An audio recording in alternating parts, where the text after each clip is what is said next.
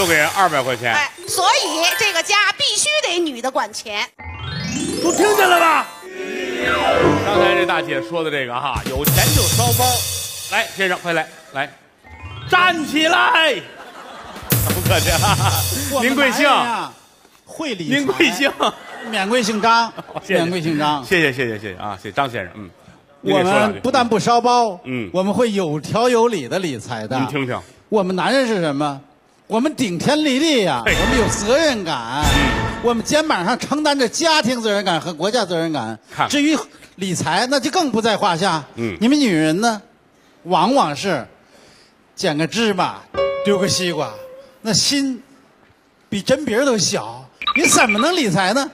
我觉得呀，你们还是应该是啊，洗衣做饭、刷锅洗碗、相夫教子、伺候丈夫，这是你们最大的责任。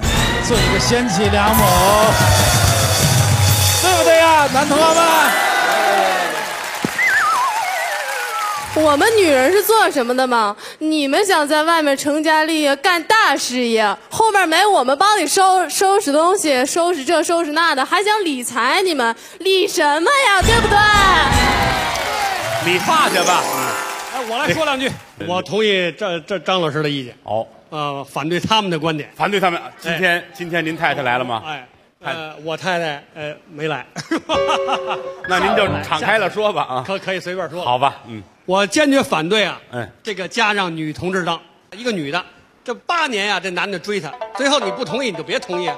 哎，结了婚了，结了婚从这开始就没男的好日子过呀，这钱卡的呀，一分都不给那男的兜里搁呀，外头社交啊，什么活动都没有啊，让这男的一点都没面子，男的活成那样，真是太没尊严了，是不是？我说这个老爷们儿，